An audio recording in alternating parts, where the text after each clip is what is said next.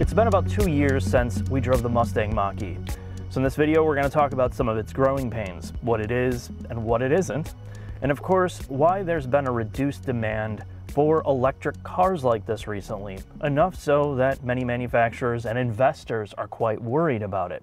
We're gonna go in the shop, we're gonna take this for a quick drive, and then a summary, so let's get started.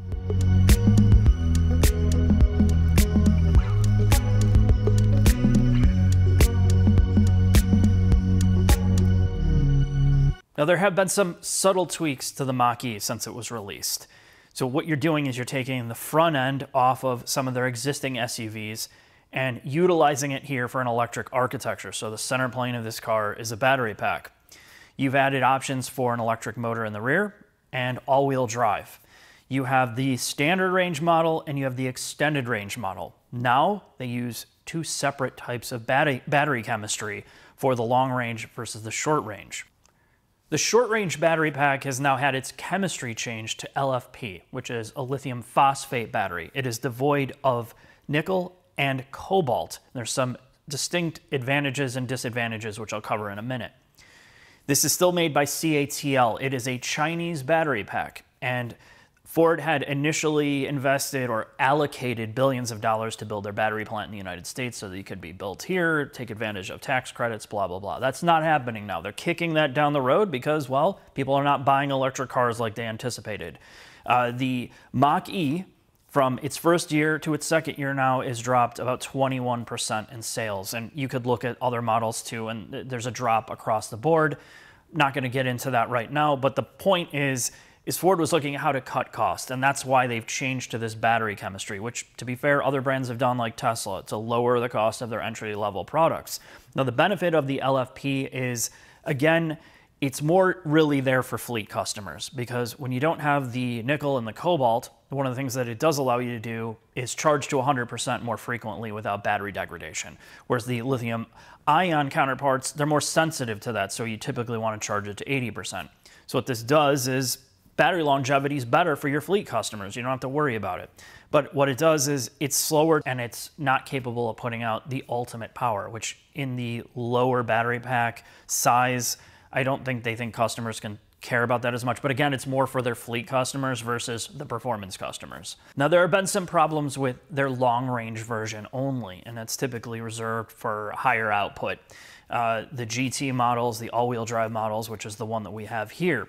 And Initially, they had problems with the contactors, which is on a control board inside the battery pack. And these contactors, what they really are, is there to disengage and engage the inverter or the electric motors to the battery. So it does a whole bunch of pre-checks and it looks at, okay, is X, Y, and Z working? So it goes in an order of connecting the contactors for the positive and negative terminals. And Weber Automotive, Kelly, who's the, the professor there, teacher, uh, they do an amazing job at tearing down a lot of modern equipment, and we've we've looked at this in the past and we've showed footage. And if you're a technician or somebody that wants to learn about the engineering and how to take things apart, uh, they do some of the best job, or he does some of the best job on the internet of showing how these parts work and showing how to repair them. So over this, I'm going to talk a little bit through that. So these contactors, what happens is, since Ford spec'd out what is apparently the same part on the lower battery pack versus the extended range, they didn't really figure out the fact that there was going to be more heat generated through DC fast charging on a larger battery pack and more heat generated from the current that is going through these contactors from extended or harder core driving on the GT models. So as it generates more heat, it shorts out the circuit board or generates enough heat in the contactors where they weld open or closed. So what happens is if it welds closed when you're driving, the car's going to drive fine, but when you shut off the car and restart it, if those contactors are in a closed state, uh, well, all these pre-checks look at, okay, there's a problem and it will not start and it bricks and you have to take it to a dealership. They have to put it on a lift. They have to literally lower down the battery pack, take the battery pack down, take the control board out, swap it, and then reseal the battery. And, and there's a whole procedure of doing all this. It's a massive amount of work.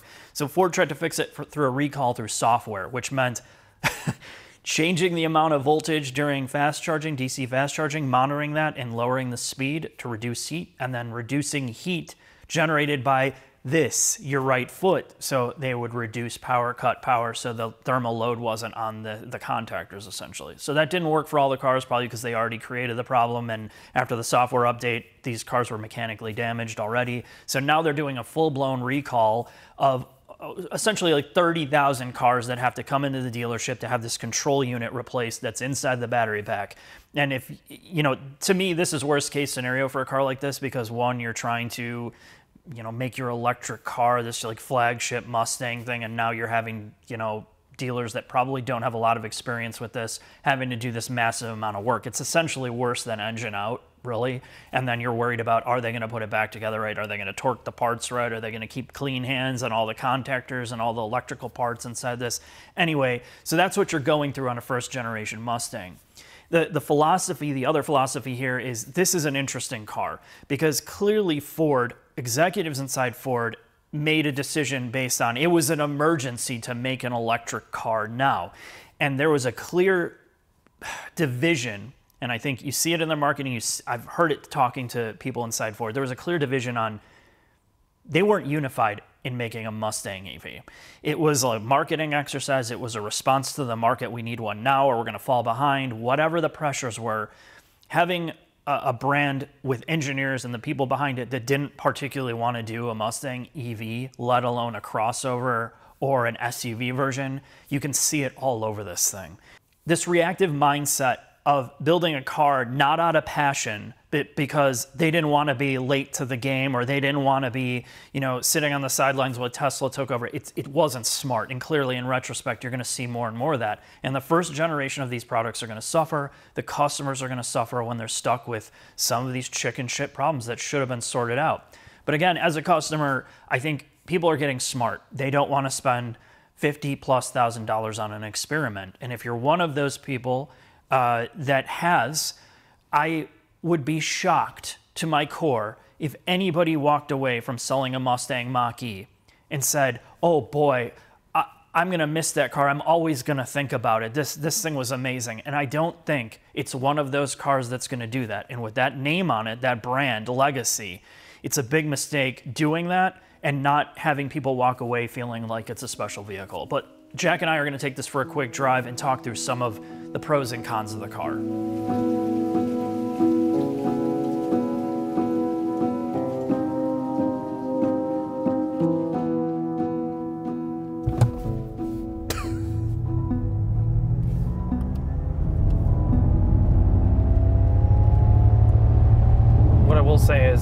It's kind of an accelerating drive, machine and road align as one there's definitely more responsive acceleration and steering in this mode, Jack. I, I, I, don't disagree with you, Mark. And when I put it in engage mode, Mark. Well, it's more of a balanced drive for everyday fun. And then into whisper?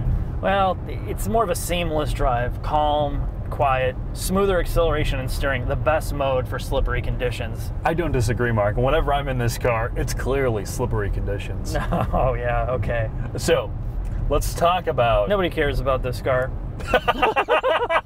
uh, maybe the owners, and they're worried about what's going to happen with it, and if is the resale value going to be obliterated as yes. more discounts get added. Okay. Yes. So now you can buy this. Uh, you can buy early ones for like in the high 20s, low 30s. No, really that low? Why would why Jack? This is nothing wrong with There's this. There's no problems with this vehicle. It's perfect in every way. It's a Mustang. Okay, so let's let's just be more constructive, right? Like I don't blame why people wanted to be on the bandwagon of an early release of this.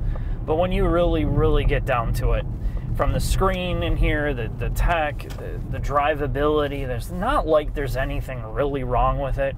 It's a very average car. So, so why would you buy this, at least in North America, or I'm sorry, the United States? Our argument in the shop off camera was there is no compelling reason why to spend more money than an internal combustion counterpart in the SUV space this does really at this price point. At this price point, and their marketing. Let me tell you what their marketing says. The GT is faster than a Macan Turbo S, and it's faster than certain 911 iterations in a straight line. So if you're not buying into the marketing bullshit of this Mustang thing and the speed and all that, which all electric cars are quick in a straight line, what does this do that the others don't do that you would spend more money on it for? If this was a thirty thousand dollar car, right, and and it offered this level of experience at 30 grand and you were cross shopping this with a Bronco Sport or an Escape, you have a very strong argument for why you would buy an EV vehicle. The problem is when you are playing in the premium category, most of those cars have premium drivetrains. Yeah. And the benefit and the refinement of the EV element of the drivetrains is not super substantial, at least to me at this price point. And it's hard to make a strong argument for really this car at all. And in the truck space, where you're bringing the Lightning does not sell particularly well, and the Lightning is not a Rivian, right? The people buying Right. F 150s are buying them for traditional truck purposes, where the Rivian and soon to be the Cybertruck are lifestyle vehicles basically entirely Right. That is not a better truck than a traditional F 150. The roundabout way, I know what you're getting at, and I think to, to answer the original question is the brands are trying to figure out why there's not interest in these EVs that are overpriced. And the, what you just said is you have 70,000 different trims of the F 150. And the Lightning, aside from having an electric propulsion, doesn't do anything particularly better than the regular F 150. It can't tow as much it's not going to be as off-road capable in many conditions and it's not functionally as good every single day because you have range anxiety of it in a, a world where we're at where you don't have the charging network. So to be honest you're going to choose a regular f-150 you know you can use every day and you never have to think about the battery part of it. And i don't think everybody cares about battery propulsion. It's not the end of the world so this is the same problem with this unless you're premium SUV. in a premium SUV, unless you're making it with better range than the the gasoline counterparts, you're making it more convenient to charge all over the place, and you're making it significantly cheaper or better than the internal combustion counterparts. There's no point of choosing this because our ICE era cars, they're still better option. Yeah, and I- and again, if this car was, you know, like a Bronco Sport price and that, you know, high 20s, mid 30s price range, I could forgive a lot of this. I could even forgive all the recalls. I think that's the other element of this. I have to imagine buyer confidence has been sapped in this car, particularly in a lot of these first gen cars. You'd all the teething pains. Yeah, and I think some of this, this screen, like the propulsion sounds, all the shit that they're trying to make it differentiate, a lot of it is gimmicks that people just don't care about, and they're certainly not going to pay more money for. Outside of the areas where you're subsidized to do it, Yeah. or you're forced to do it, Right. it's a very hard ask to get someone out of something like a Q5 or an X3 versus this thing. No, absolutely. In, in the United States, you're not going to be forced to do it. There's a huge divide, and I saw an article, I think it was from Edmunds, where um, she was saying that the divide in America is a lot of states view electric cars like they view forced immunization. You know, like you're not going to force an electric car on me. Like you, it's become a political issue, and it's not a political issue for us. It's just about like I don't want people spending their money on a, a car that's totally disposable. That's more what it is. Prove to me that it's nothing more than a first generation car that it has staying power. I would invest Or in it. offer something over its internal combustion Yes. counterpart. Agreed. So, Mark, with that, let's head into the end of this video, sir. All right.